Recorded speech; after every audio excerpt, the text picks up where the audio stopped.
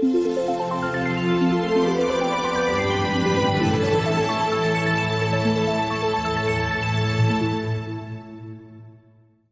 一次新赛季的 NBA 当中，火箭的比赛相当不顺利，目前的战绩是一赢二败，西部排名已经逐渐快要到末尾处。火箭目前面临的状况十分危急，作为主力恩尼斯因为在比赛过程中受到伤，导致要休息三天左右，使火箭队无人顶替这个位置。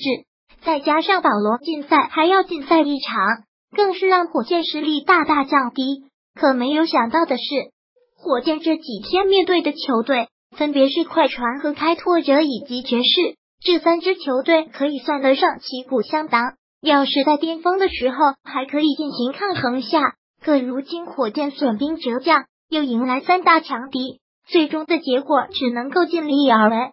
在上个赛季的时候，火箭队以猛烈的方式荣获 NBA 常规赛的冠军，在没有保罗的情况下。依然还是能够赢了许多的球，可是从现在的实力上来看，完全已经没有曾经那么强大的实力。其实主要的原因还是因为防守能够已经大幅度下降，导致让对手突破防御而赢球。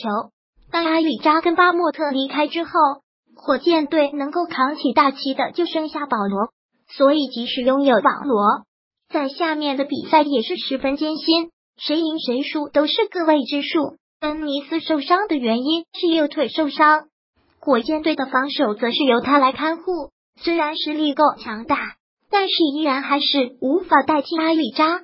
不过没有球员之下，恩尼斯还是能够起到至关重要的作用。目前火箭少了保罗以及恩尼斯，那么首发将会是哪几位上场？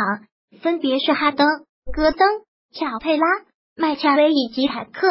这样的阵容虽然在进攻方面起到极大的作用，但是在防守这方面却急剧的下降，可以说是将防守视若无物。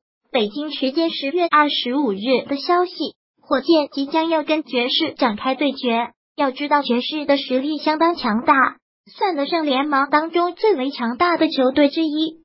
在面对勇士的时候，勇士都差点在爵士面前翻船，而火箭对上爵士的话。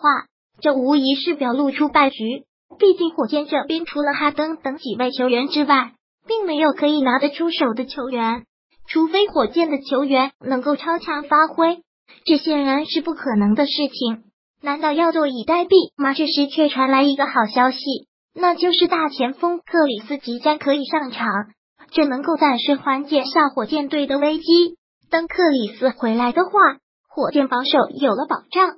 加上哈登的进攻，或许能够带领球队走向胜利的方向。